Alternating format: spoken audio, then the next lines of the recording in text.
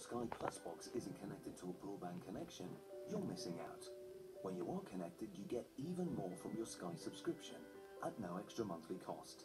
You'll be able to rent over a thousand movies straight to your TV with Sky Store and access the UK's widest range of catch-up TV channels, all on demand, straight to your TV. So, how do you get connected? It's easy. First up, you need a compatible Sky Plus box and a broadband connection. If you have those, then there are three simple ways to connect. If your Sky Plus box and broadband router are in different rooms, you can connect them wirelessly with our on-demand connector. Press and hold the WPS button on your router for two seconds. Then, within a minute, press the WPS button on your on-demand connector and both will connect automatically. Then, follow the prompted on-screen instructions. If you don't see the instructions, then go to Settings, then to Network, and select Connect with Password. When you've found your network, enter your password using your Sky Remote here, remembering it's case sensitive.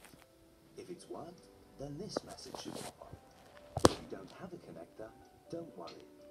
You can get one at sky.com slash getconnector. If you have a Sky Plus box with built-in Wi-Fi, you don't even need a connector. WPS buttons just as we showed you. You can also go to the settings section to enter your password in the same way.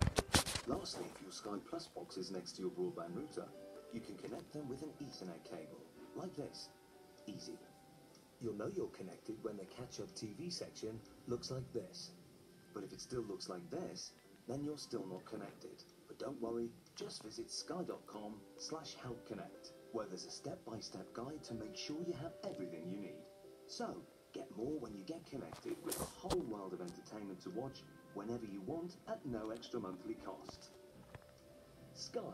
Believe in better.